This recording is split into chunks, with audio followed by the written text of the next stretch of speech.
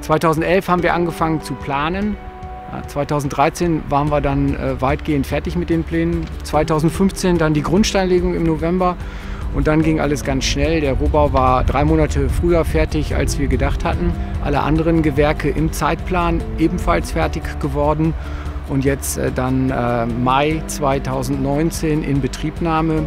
Dass wir das so hinbekommen haben, das macht uns wirklich stolz. Wir tun das ja nicht nur für uns oder zum Selbstzweck, sondern das ist gut für unsere Patientinnen und Patienten. Wir können an der Stelle adäquaten Komfort anbieten in den Zweibettzimmern. Wir haben eine ganz neue Einheit mit 14 topmodernen OPs, die wirklich sehr gut ausgestattet sind, wo alle technischen Möglichkeiten, die heutzutage denkbar sind, eingebaut sind und äh, damit einhergeht der große Intensivbereich, die Betreuung von Patienten mit schweren Erkrankungen, die große Operationen brauchen, ist dann bei uns in diesem Intensivbereich rund um die OPs herum möglich. Also es gibt so viele Gründe, sich auf den Neubau zu freuen.